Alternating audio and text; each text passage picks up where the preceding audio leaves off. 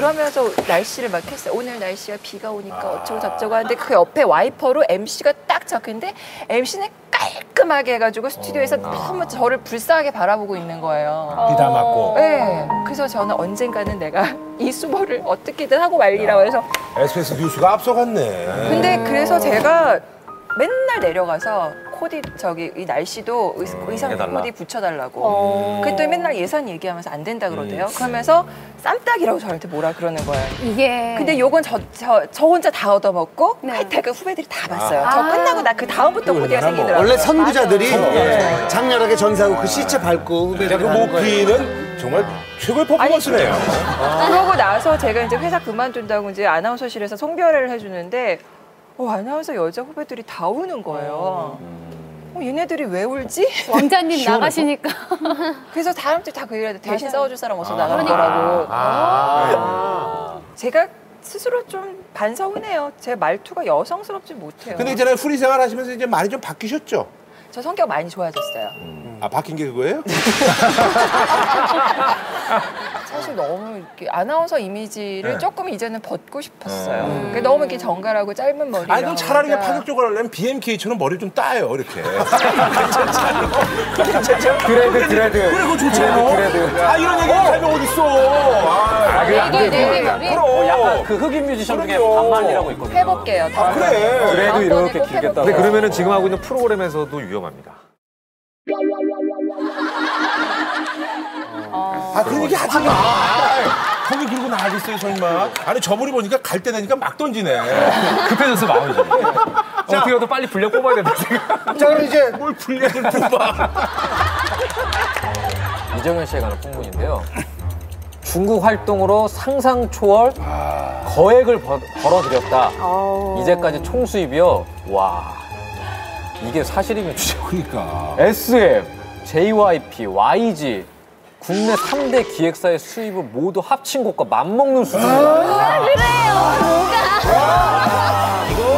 아이고. 아니에요.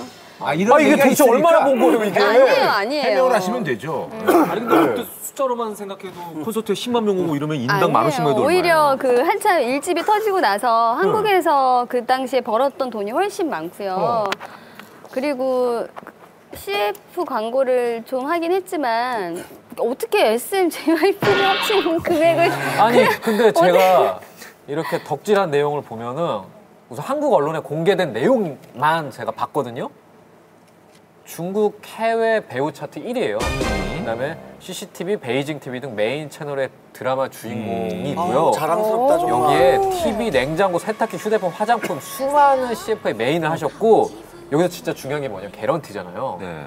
근데 중국 톱스타 장쯔이랑 개런티가 동급인데 2009년에 장쯔이가 받았던 개런티가 29억이래요. 아니에요.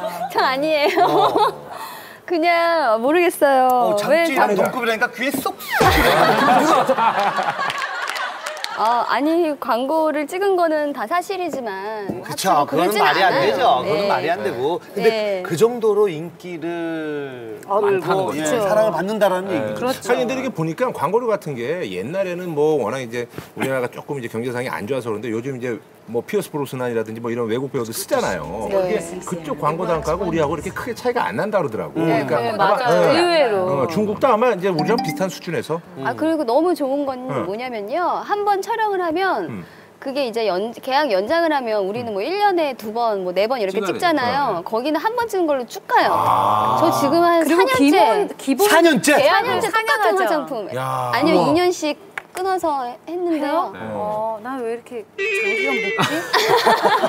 그리고 이제 추가 계약을 해도 그 화면을 그대로 쓰는 거예요? 옛날 화면을? 그냥 그대로 쓰는데 그러면 싫을 수도 있잖아요. 잘, 잘 찍었고 편하죠. 아, 잘 찍었고 건 이제 다시 촬영하게 되면 또 너무너무 힘드니까, 힘드니까. 밤새고 또 돈을 굉장히 많이 버셨다는 게 티가 나는 게 음. 뮤직비디오 제작에 엄청난 돈을 들으셨어요. 박찬욱 감독님이 직접 연출을 하셨어요. 아. 근데 박찬욱 감독 개런티가 그 연출료가 꽤 비싸지 않나요?